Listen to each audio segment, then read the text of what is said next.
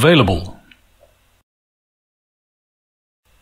The mobile policy area gives access to the Zscaler app portal and the configuration of security and access control policies for mobile users and devices. In the next section, we will have a detailed look at the mobile policies. This section has been created as an interactive demo to give you a feel for the navigation of the Zscaler app portal UI. You'll be asked to select the appropriate menu options to navigate the UI. You may also use the play control to proceed to the next step. Firstly, we will look at the Zscaler app portal option. Click on the policy page to expand it.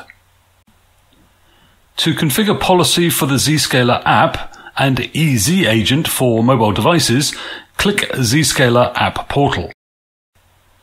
This will open the Zscaler App Portal full screen in the same browser window. The dashboard page will be shown. To see a list of the enrolled devices, click Enrolled Devices.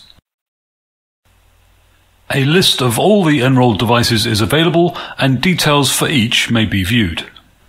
You may filter the list by user ID, device state, and device OS. To access and manage app profiles, click App Profiles.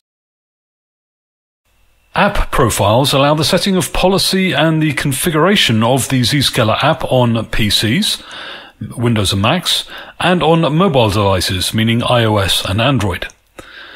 To view and manage profiles for PCs, click both Mac OS X and Windows PCs are supported. Click Windows to view and manage profiles for Windows PCs.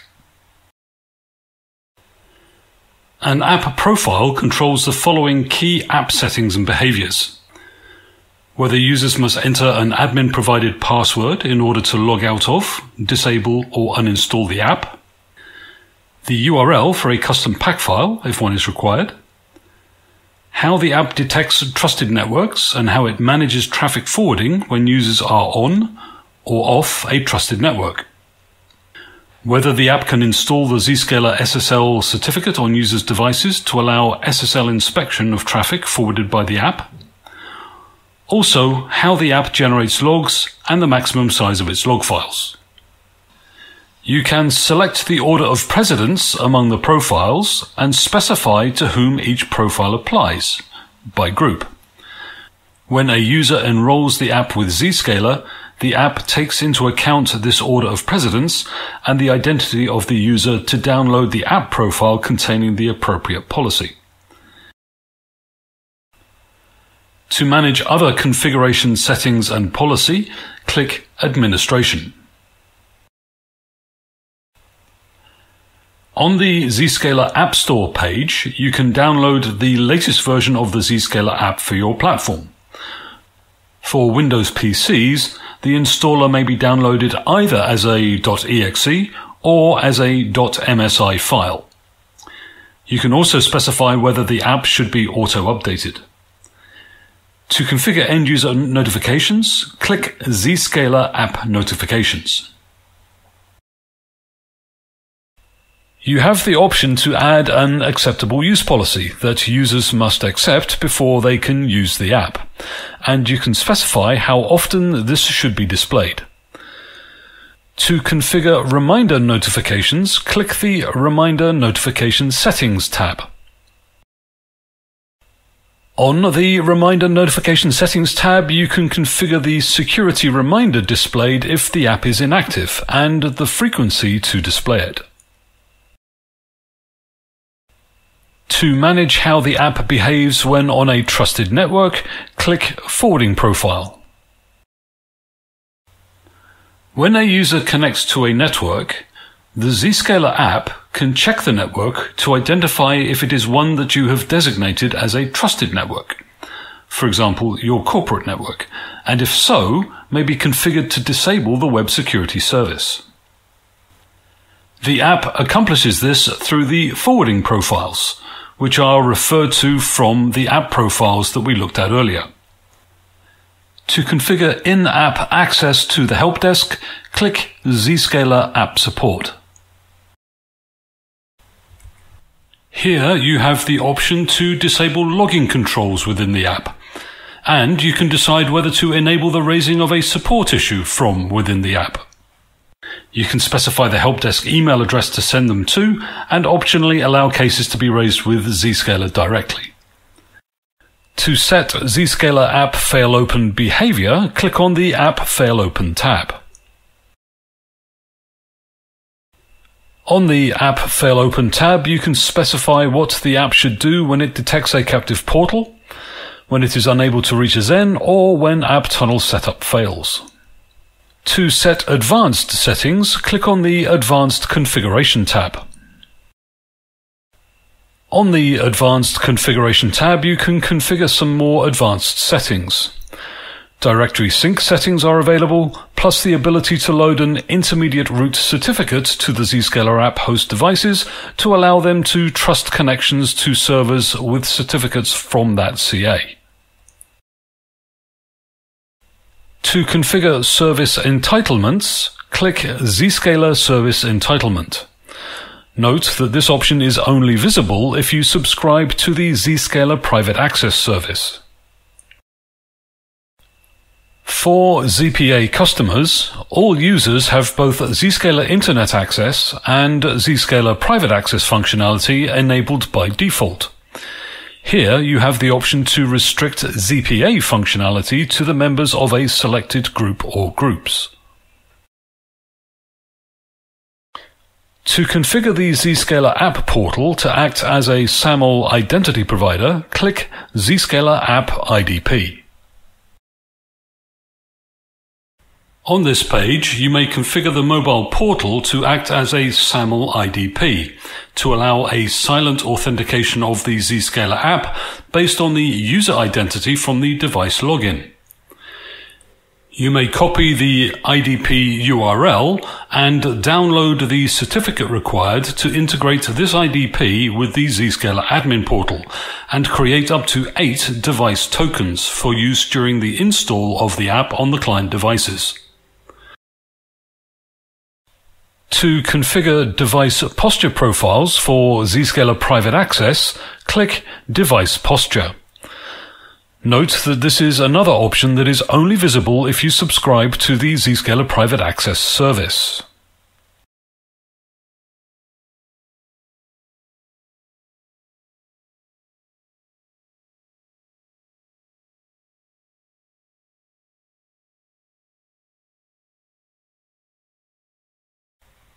The device posture feature is relevant only if your organization is using the Zscaler app for private access, ZPA. The device posture profile is a set of criteria that a user's device must meet in order to access applications with ZPA. For a full description of the profiles and configuration options at the Zscaler app portal, see the Zscaler app module in the ZCCP certification content. To return to the admin portal, click the Go Back link at top right. And you will be taken back to the dashboard page. Next, we will look at the mobile malware protection options. From the Policy menu, select Mobile Malware Protection.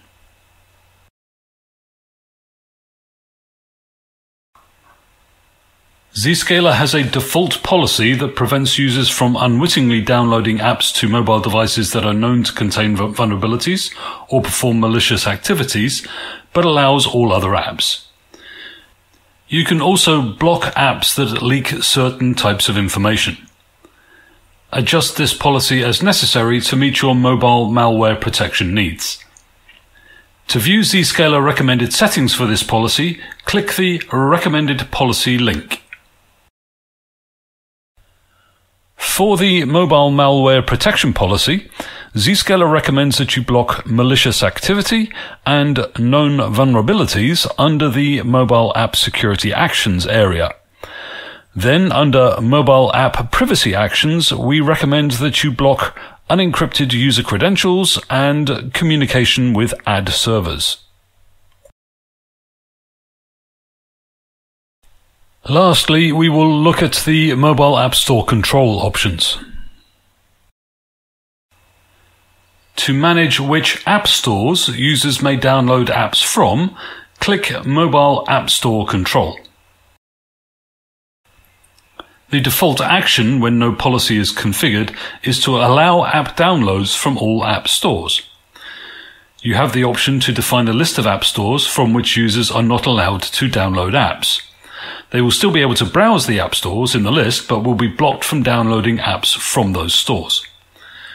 To add a control rule, click the Add Mobile as with the other rule types, you can manage the rule order, rule name, and rule status. To select which app stores the rule is to apply to, click App Stores and select the app stores to be included. Configure the rule as necessary for the standard criteria, such as uh, users, groups, departments, locations, and time.